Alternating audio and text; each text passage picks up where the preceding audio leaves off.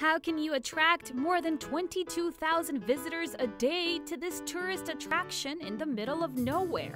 Well, apparently, free ice water and yummy donuts will do the trick. The tiny Midwestern town of Wall, which had a population of 882 as of 2014, is world renowned thanks to the Wall Drugstore.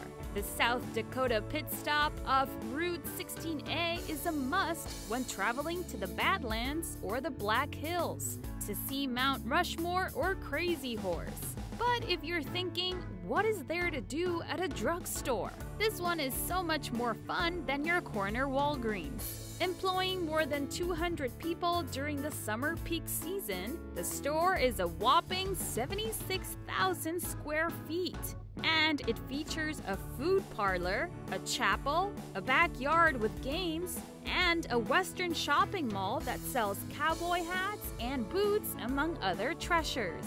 Oh, and did we mention free ice water and delicious donuts?